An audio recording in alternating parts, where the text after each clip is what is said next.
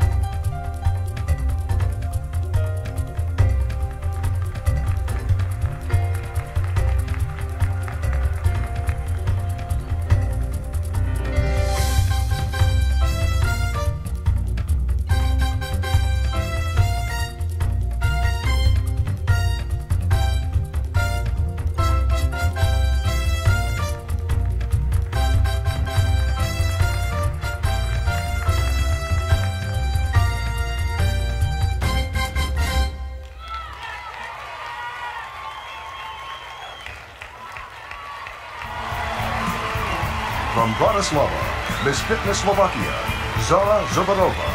Third runner-up tonight is Zora Czoborova from Slovakia.